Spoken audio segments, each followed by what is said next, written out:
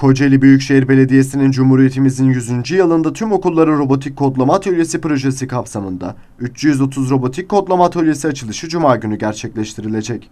27 Ekim Cuma günü saat 14.00'da Kocaeli Kongre Merkezi'nde robotik kodlama Üstleri olarak faaliyete geçecek olan atölyelerin açılışına Milli Eğitim Bakanı Yusuf Tekin de katılacak.